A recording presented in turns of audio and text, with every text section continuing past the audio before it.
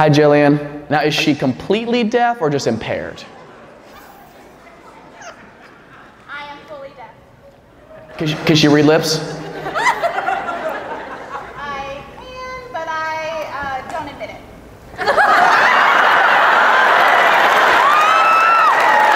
Okay, all right, so she can read lips. Don't sign this.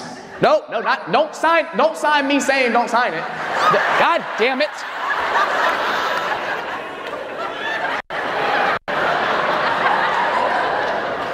Some people be faking this. Don't sign this. There's a man two seats to her right wearing a white hat. I want you to scream in her ear as loud as you can. And if she reacts, this bitch is lying.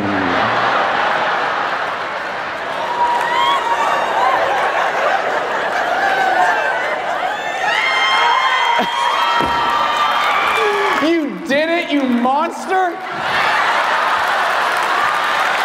She was so unfazed, too, just. like she smelled your breath before she heard you. Like, how crazy is that? Are you deaf too? I am deaf. Double dose of deaf. Let's go, dude. What? Now it's even more fucked up because he leaned across her to yell at the other girl, dude. That's even worse, man. Oh, man, we should have played telephone. Tell her I love her.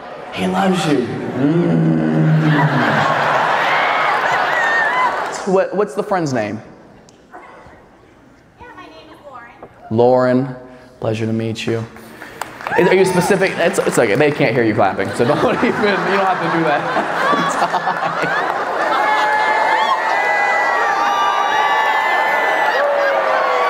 there we go.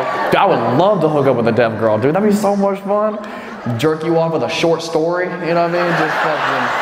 Once upon a time, there was. A, I'm about to comment. I'm like,